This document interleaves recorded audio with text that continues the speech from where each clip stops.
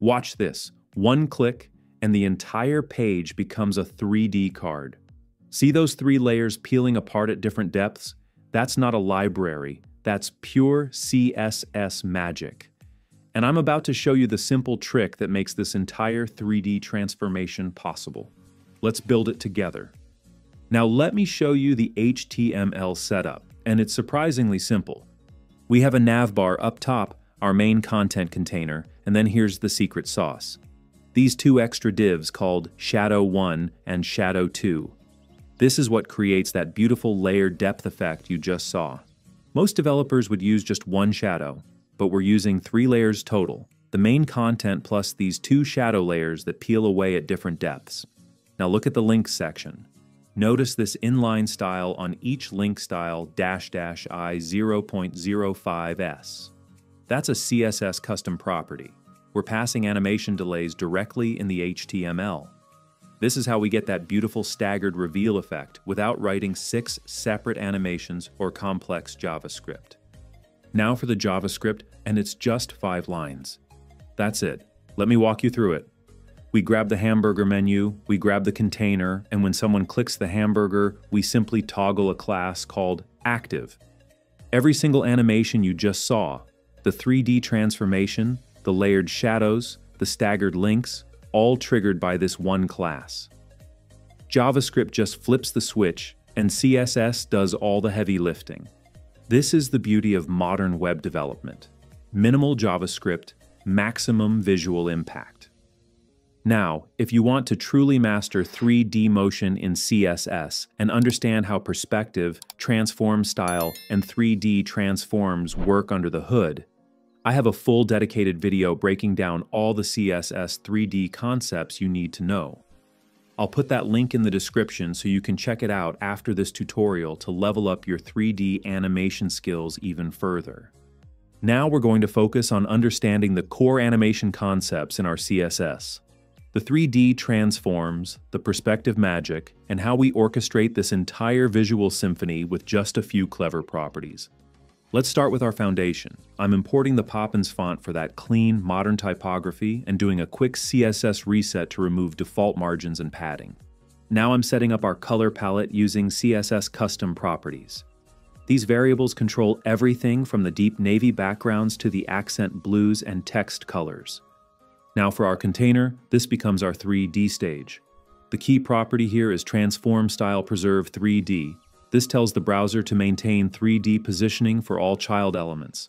Without this, our 3D transforms would flatten out, and we'd lose that beautiful layered depth effect. It's the foundation that makes everything else possible. The nav bar stays fixed at the top with high Z index, ensuring it's always visible. The menu uses Flexbox to space out our logo and hamburger icon perfectly. The hamburger is built with pure CSS, one central bar with two pseudo elements above and below. These three lines will transform into our close icon with just one class toggle. Now for the main content, this is where the 3D magic happens. The transform origin left property is crucial. It tells the browser to rotate this element like a door swinging open from the left side. If we use Transform Origin Center, it would spin like a wheel. But we want that natural book opening feel, so left origin gives us exactly that door swinging motion we're after. And crucially, Transform Style Preserve 3D tells the browser to maintain 3D positioning for all child elements inside our main container. The header creates our full screen hero section with a subtle dark gradient overlay. I'm using CSS Grid to center everything perfectly, and the padding accounts for our fixed nav bar height. The overlay uses Flexbox to position our content with responsive padding that scales from 2 rem to 6 rem based on viewport height. The inner container centers our text with a max width for optimal readability, while the title uses a crisp white to stand out against the dark background. The button uses our accent color with a subtle inner glow and shadow for depth. The links container is positioned absolutely on the right side, taking up 30% of the screen width and full viewport height. It's centered using Flexbox for perfect alignment. The links start hidden with opacity 0 and slightly offset downward.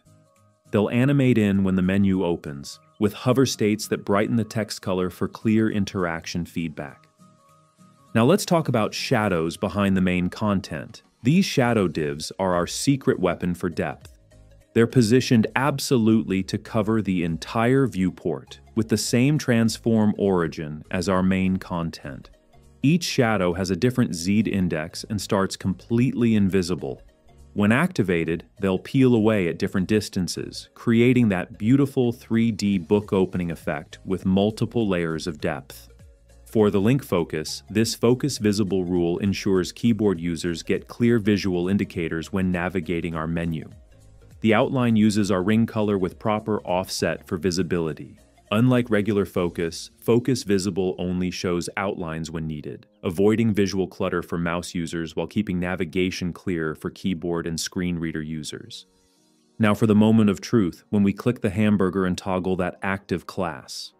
This single class change triggers our entire 3D transformation. Watch what happens to our hamburger icon when the active class is applied. The center bar rotates 360 degrees and becomes transparent, while the top and bottom bars rotate to form a perfect X.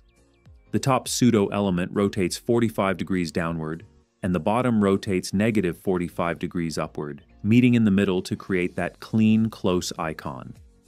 It's a classic hamburger to close transformation, but with that extra 360 degree spin for flair. This visual cue immediately tells users the menu is open and can be closed, creating that intuitive toggle experience we expect from modern interfaces. When active, our main content undergoes a dramatic 3D transformation. It rotates 20 degrees on the y-axis while moving forward 310 pixels in 3D space and scaling down to half size. The perspective 1300 pixels creates our 3D camera. It determines how dramatic the 3D effect appears. A smaller perspective value would make the rotation more extreme, while larger values soften the effect. The keyframe animation ensures a smooth transition from the normal state to our 3D transformed state. The cursor changes to pointer, inviting users to interact, while overflow hidden keeps everything contained during the transformation. This combination of rotate Y, translate Z, and scale creates that perfect book opening illusion. The content appears to swing open like a page while moving closer and shrinking to make room for our navigation panel. When the menu activates, the overlay switches to absolute positioning. This ensures it stays perfectly aligned with our transformed main content, maintaining that dark overlay effect even as the page rotates in 3D space. Now watch our navigation links come to life. When active, each link triggers the appear animation, fading in while sliding up into position, the magic is in variable I, that custom property we set in our HTML. Each link gets a slightly longer delay, creating that beautiful cascading effect where links appear one after another. The animation lasts 0.5 seconds with an ease curve for natural movement.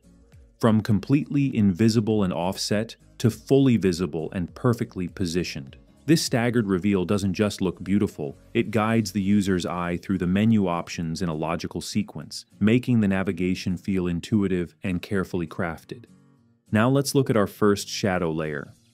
When active, it animates to a position 215 pixels deep in 3D space with 8% opacity, creating that subtle depth behind our main content. The keyframes reveal the magic. It starts flat, quickly jumps to 310 pixels deep at 5% of the animation, then settles back to 215 pixels. This quick overshoot creates a natural spring-like motion. By positioning this shadow closer than our main content, but further than the second shadow, we create that beautiful layered book effect. The different depths make the 3D transformation feel more realistic and dimensional. The second shadow follows the same pattern but with key differences. It settles at just 120 pixels deep with 4% opacity, creating that deeper layer of depth. With the first shadow at 215 pixels and this one at 120 pixels, we get that true book-like separation. The lower opacity on this deeper layer makes it feel further away, enhancing the 3D illusion. Both shadows use the same 0.6 seconds duration and ease out timing, but their different keyframe delays create that orchestrated, layered movement that makes the entire transformation feel cohesive and intentional. Now for the final touch, interactive hover states. When you hover over the main content while the menu is open, both the content and the first shadow layer respond. The main content moves forward to 340 pixels, while the first shadow adjusts to 230 pixels. This creates a dynamic depth effect that makes the 3D space feel alive and responsive to user interaction. If you enjoyed this deep dive into 3D CSS animations, make sure to subscribe and hit that like button. I'm putting out new content every week that breaks down complex web development concepts into simple, buildable steps. And that's how we built this stunning 3D drawer navigation from scratch. From the perspective transforms to the layered shadows and staggered animations, every piece working together to create that magical book opening effect. Which part helped the most today? Getting the pivot point right with transform origin, setting up the 3D camera with perspective, or creating that layered depth with multiple shadows? Drop your one-line answer in the comments below. I'm also adding the complete source code for this project in the pinned comment. You can check it out live on CodePen to experiment with the 3D effects and see exactly how everything works together. Thanks for watching, and I'll see you in the next video.